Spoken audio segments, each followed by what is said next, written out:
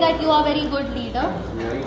So I don't, like, I don't know if I'm a leader or not, but Yeah. uh, the key What skills do you find in yourself? understanding the team and Sorry. uh, understanding the team.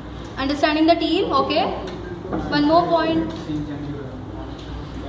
Don't probe. like not Let him speak. reacting when someone does wrong. Okay. Something else you do? Not to not make him demotivated. Yeah. That to is very important. Yeah. To motivate the team. Okay. You give some suggestions to your team members. Okay. Any take, corrections? take suggestions from them. Take suggestions from them. Yeah. This is very important again.